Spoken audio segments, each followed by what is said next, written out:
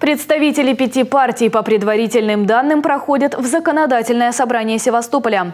В голосовании по партийным спискам лидирует «Единая Россия» с результатом 38,47% голосов.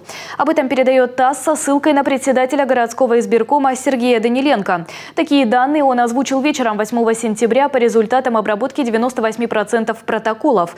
Даниленко отметил, что общая картина уже понятна. Доли процентов будут меняться, но в целом на итог итог голосования это не повлияет, отметил председатель Севизбиркома. По его данным, лидеры избирательной кампании в законодательное собрание Севастополя уже известны. В первом округе лидирует Татьяна Лобач.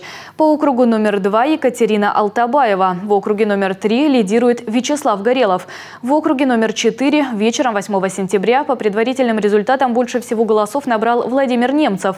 В округе номер пять лидирует Татьяна Щербакова. В округе номер шесть большинство проголосовало голосовавших отдали свои голоса Сергею Колбину. В округе номер 7 лидирует Михаил Чалый. В округе номер 8 Михаил Брицын набрал 27%. Там пришли данные с половины участков. По данным Севизбиркома, явка составила 29,5%.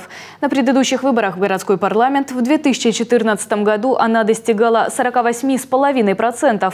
Сейчас по партийным спискам лидирует «Единая Россия», КПРФ и ЛДПР набирают соответственно 18,74% и 18,46% голосов. «Справедливая Россия» – 8,84%. Партия пенсионеров за социальную справедливость 6,89%.